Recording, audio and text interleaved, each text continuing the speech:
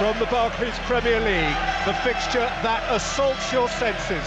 You see it vividly, boy can you hear it, but United and Liverpool, you feel it. You reach out and touch it. David De Gea was back in the United 11 after a proposed move to Real Madrid fell through.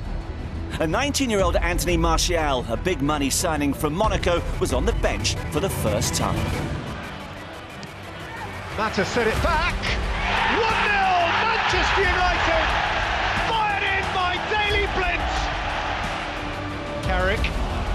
Herrera. Gomez with a challenge. Penalty. This for Mancunian comfort. And the Herrera belts it in. That is a super penalty. And it is a super scenario for Manchester United now. Two goals clear of Liverpool. Plays it in. Benteke, wow! Has he hit that or what? Old Trafford stunned into silence.